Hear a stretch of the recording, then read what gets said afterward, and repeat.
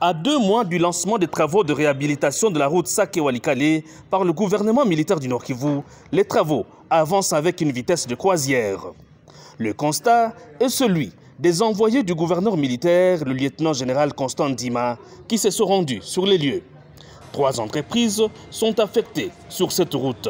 Il s'agit notamment de la société Prémidis Construction SARL, la société Simba Construction et la société BM.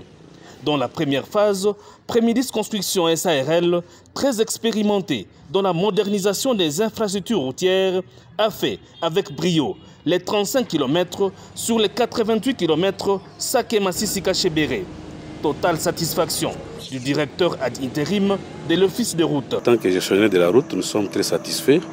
Nous sommes au PK 145 de la RP 1029, Sake-Massis Kachebir, où l'autorité nous a notifié comme surveillant. On trouve que ça marche, donc il faut encore beaucoup d'efforts que nous allons recommander aux entreprises. Le chef de division des TPI, l'ingénieur Sanvoura, n'a pas manqué, au terme de cette visite d'inspection, de congratuler Prémidis Construction et d'autres sociétés grâce auxquelles ces routes deviennent carrossables. Nous sommes vraiment ravis de constater qu'ils sont à ce niveau. On, peut évaluer qu'ils sont au-delà de 15%. Ils ont une méthodologie euh, faite en synergie avec la mission de contrôle et la mission de surveillance.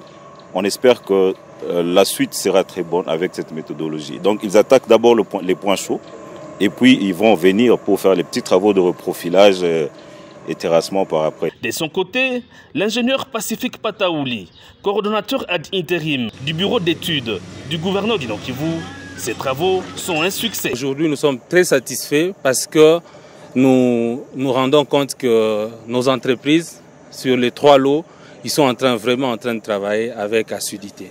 À l'endroit des entreprises, c'est de fournir encore plus d'efforts parce que d'ici deux à trois mois, nous voulons que le véhicule vienne de Goma jusqu'à Walikale. Le choix de l'autorité provinciale du Nord Kivu sur ces entreprises est correctement justifié.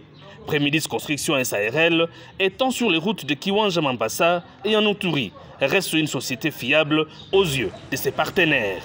Quoi qu'il en soit, jusqu'au fin mars prochain, les usagers de la route Sake-Walikale ne feront qu'un jour pour arriver à destination.